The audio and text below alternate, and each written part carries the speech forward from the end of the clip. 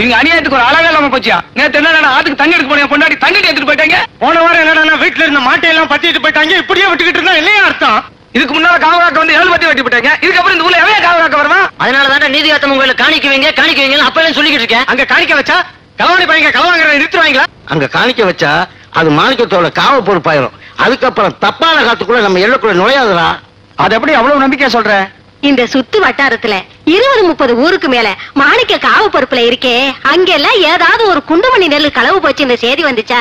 ஏன்னா மாணிக்கத்தோட ஆத்தா அம்மனுக்கு நேர்த்திக்கடன் வச்சு மாணிக்கம் அம்மன் அருள் வாக்குல பிறந்த பிள்ளையா. அதனாலதான் அம்மனுக்கு காணிக்க வச்சு வேண்டிக்கிட்டா மாணிக்கம் காவலுக்கு போனாலும் மாணிக்க ரூபத்துல அந்த அம்மனே காவ காக்குதுன்னு பேசிக்கிறாங்க.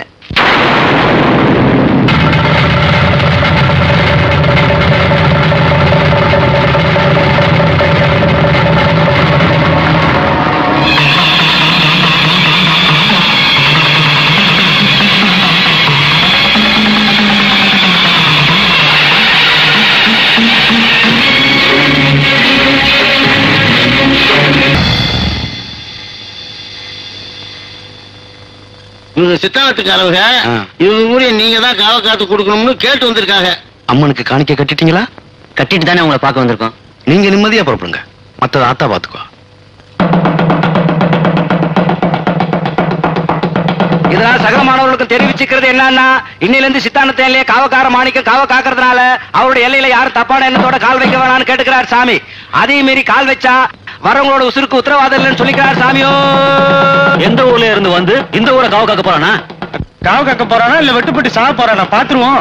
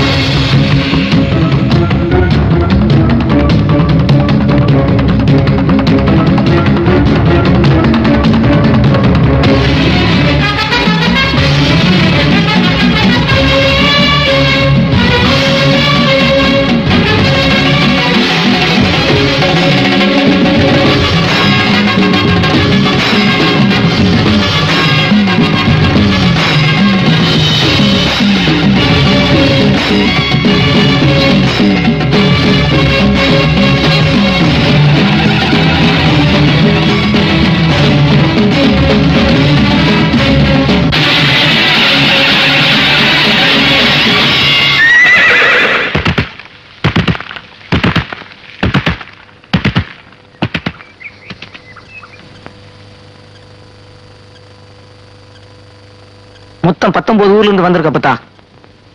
ஆஹா. அப்பத்தா. இன்னைக்கு பாதி ஊர்ல இருந்து காவநெல்ல வந்திருக்கியா? சரி அப்பத்தா. நான் இந்த வக்குனூர் வரைக்கும் போயிட்டு வந்துடுறேன். போயிட்டு சீக்கிரமா வந்துரு. பழனிசாமி என்னண்ணே? அண்ணே? ரெண்டு வண்டிய? வக்கனூர் கோட்டு. ம்? போ.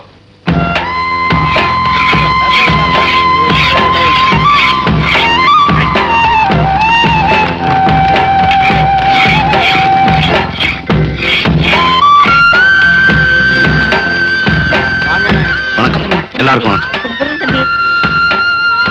பழனிசாமி வீட்டுக்கு ரெண்டு மூட்டை இறக்கி போடும் சரிண்ணே. இவங்க களவாங்க கூடாதுன்னு நீயும் கொடுத்துதான் பாக்குற இவங்க திருந்தின பாடே இல்ல. எதுக்கியா பாம்புகளுக்கு வீணா பால் வாக்குற? அவங்க திருடுறதுக்காக தண்டிக்கிறேன். அவங்க பொஞ்சாதி பிள்ளைங்க பட்டினி கிடக்க கூடாதுங்கிறதுக்காக கொடுக்குறேன். அடுத்த வீட்டுக்காரன் பசியோடு இருக்கும்போது தான் மட்டும் திங்கிறவன் மனுஷன் இல்லாதா? எத்தனை நாளைக்கு தையா இப்படி கொடுத்துக்கிட்டு இருப்ப? இவங்க திருந்துற வரைக்கும் கொடுப்பேன். ஆறு மூட்டை பொக்கு நல்லா கொடுத்து போட்டு போய் தத்துவம் பேசிட்டு தர்றான் அதை எடுத்துட்டு போச்சுல நாங்கெல்லாம் விடிய காலம் வேலைக்கு இருக்க நேரத்துல ரெண்டு மூட்டை நல்லா கசிக்க வந்துருவோம். அம்மா கிட்ட போய் ஆ, ஆ. களை வாங்குறது பாவம் இவங்களுக்கு புரியலாத்தா யாருக்கும் தெரியாம களவன்ட்டு வந்துடும் நினைச்சிட்டு இருக்காங்க. எல்லாத்துக்கும் மேல ஒருத்தர் இருக்கான். எல்லாத்தையும் பார்த்துக்கிட்டு இருக்கான். களவு கொடுத்தவன் வயிறு போய் பதறானே. அந்த வயிற்றுச்சல் இருக்கு பாரு. எத்தனை ஜென்மம் எடுத்தவன் சும்மா விடாதாத்தா. உன் குணம் தெரியாம பேசிவிட்டான் நான் சொல்லி வைக்கிறேன்யா நீ போயிட்டு வாய்யா வராதா. அவனை வெட்டி கொல்ல விட மாட்டேன். அப்பா அம்மா கேட்காம போய் இருந்தாலே செத்தான நான் வெட்டி ஒண்ணு நீங்க பாத்துறேன் தள்ளுங்க. அட, தள்ளுங்க. ஏன்னா தோலுக்கு மேல வந்த பையனை தெருவு விட்டு அடிச்சுக்கிட்டு இருக்கே. அசிங்கமா இல்ல? நியாயத்தை கேளுங்க தம்பி. என் பெரிய பையனுக்கு கல்யாணம் பண்ணி வச்சு ஒரே மாசத்துல செத்துட்டான்ல. சொத்து பத்தோட வந்த அந்த பிள்ளைய உன் சின்ன பையனுக்கு கட்டி வைனி அவங்க அப்பனா தலைமையே சொல்லிட்டாங்க. இந்த ஊம பையல நீ கெட்டிக்கிறான்னா மாண்டே மாண்டே நீ மண்டே மாண்டே ஆடுறான். சொத்தெல்லாம் போயிருமே தம்பி.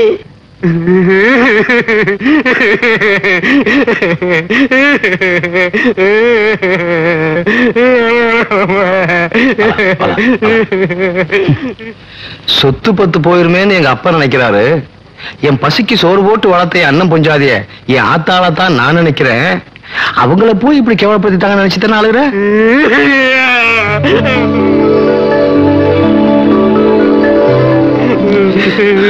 நீ நினைச்சதுதான் சார் சரி?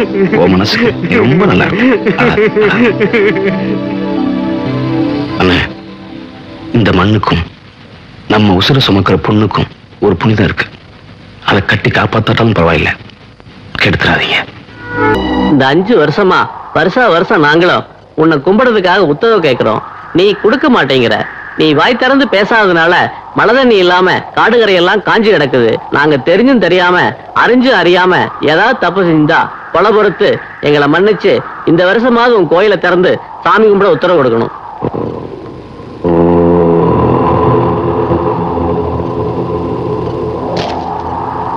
இந்த வருஷம் திருவிழா நடத்துங்க. நீதிகாத்தம்மன் கோயிலில் போய் காணிக்க கட்டுங்க. காவா கருப்பு வந்து என் கதவை திறக்க. என் கதவு திறக்கும் போது என்னை பூட்டி வச்சவன் கதவு மூடிடும்.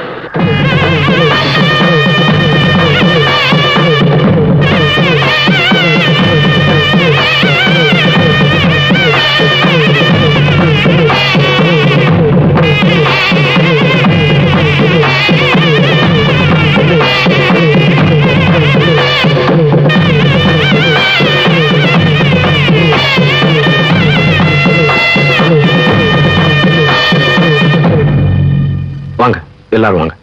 வணக்கம் தம்பி. நாங்க அச்சனப்பட்டியில இருந்து வந்திருக்கோம் தம்பி. எங்க ஊர் கருப்புசாமி கோயில் அஞ்சு வருஷமா போட்டி கிடக்குது. அஞ்சு வருஷத்துக்கு முன்னால் நடந்த திருவிழாவில் இந்த ஊருக்காரன் பாசானங்கிறவன் அவனுக்கு பரிவட்டம் கட்டலைங்கிறதுக்காக பக்கனூருக்காரங்களை வச்சு கும்பிட வந்த ஸ்தலங்களை எல்லாம் வெட்டி கோயிலையும் இழுத்து பூட்டி போட்டான் தம்பி. என்ன செய்யறதுன்னு தெரியாம தவிச்சுக்கிட்டு இருந்தோம். இந்த வருஷம் தான் சாமி அருள்வாக்கு சொல்லியிருக்கு. நீங்க வந்து கோயிலை திறக்கணும்னு உத்தரவு கொடுத்துருக்கு. அதனால அம்மனுக்கு காணிக்கை கட்டிட்டு நேரா உங்களை பார்க்க வந்தோம். எள்ளக்கரும்பு கோயில் இருந்து புறப்பட்டு கருப்புசாமி கோயிலை போய் திறக்கிறதுக்கு வர்ற வெள்ளிக்கிழமை ராத்திரி நல்ல நேரம்னு குறிச்சிருக்காங்க. நல்லது. இந்த வருஷம் எல்லாரும் சந்தோஷமா சாமி கும்பிடலாம்.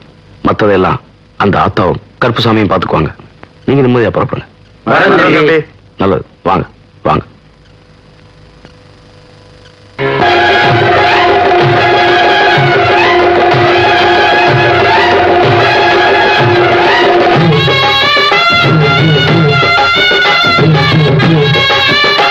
Thank you.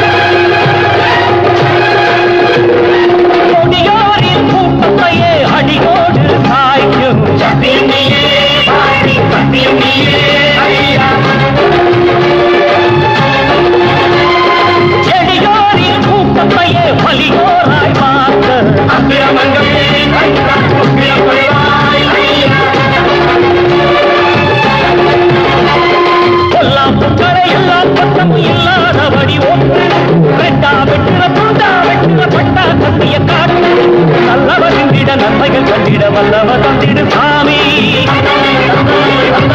எந்த கட்டத்தை எதிர்த்து சென்றிட என்னுடன் வந்திடு சாமி. வெட்டனுமா வெளுக்கும் எதிரிக்கு